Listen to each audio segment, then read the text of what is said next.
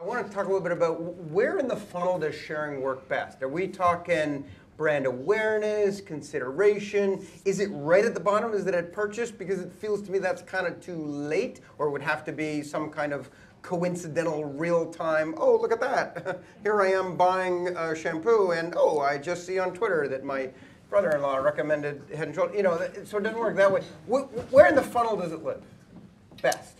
Well, look, the way it gets talked about the most is at the top.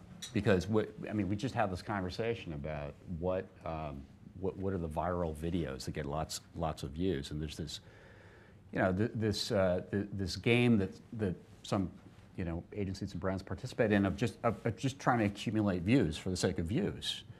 Um, and that's what gets seen. I would argue that real business impact happens uh, below the visible surface of most right. of the industry. Right. When people aren't thinking about individual units of content and how kind of uh, that that word makes me nauseous, viral. Uh, but but um, you know, not not kind of the the one kind of lightning strike thing that happens once a year that everybody talks about, but again, a systematic approach that says, look, there are pockets of interest all around our brand and all over our, uh, the various products we offer. And if we publish into those pockets of interest with something that is good, um, we're going we're gonna get engagement all the way through the funnel.